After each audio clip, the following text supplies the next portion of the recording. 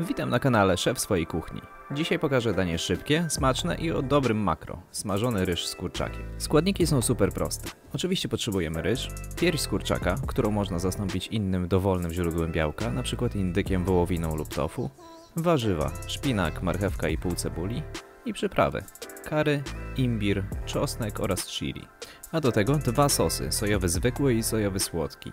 Jeżeli nie znajdziecie słodkiego sosu sojowego, możecie go przygotować sami. Odsyłam do mojego filmu o karkówce.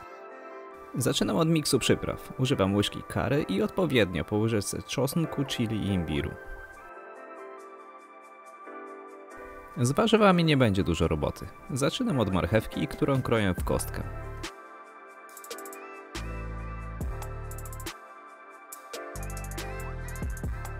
Następna jest cebula, którą kroję bardzo drobno.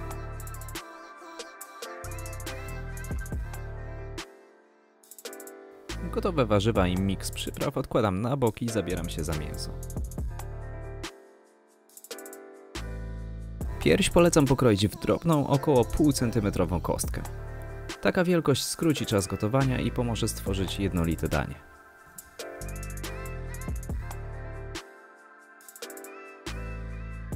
Smażenie zaczynam od marchewki i cebuli, które trafiają na łyżkę rozgrzanego oleju kokosowego. Przesmażam je przez około 3 minuty i dodaję miks przypraw.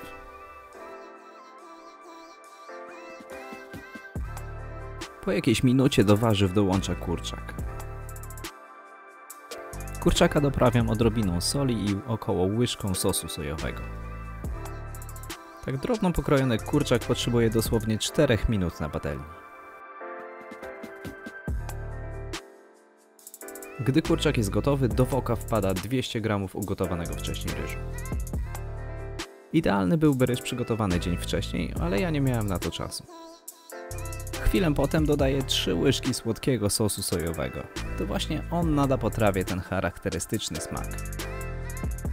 Całość mieszam, aż ryż nabierze jednolitego, ciemnego koloru. Pozostaje dodać szpinak, który wymaga bardzo krótkiej obróbki termicznej. Będzie gotowy w niecałe 2 minuty.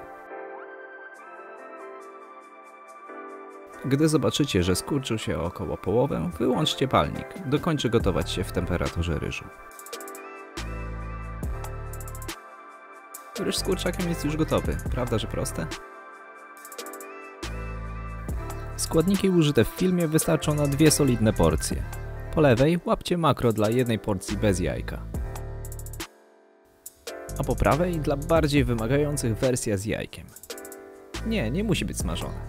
Można je na przykład wpić do woka zaraz przed dodaniem ryżu.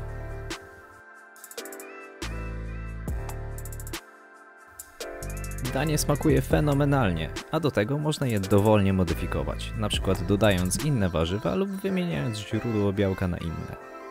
Polecam spróbować jak najszybciej. Jeżeli podoba Wam się ten format wideo i chcielibyście zobaczyć więcej przepisów w tym stylu, zostawcie komentarz. To wszystko na dziś, dzięki i do zobaczenia.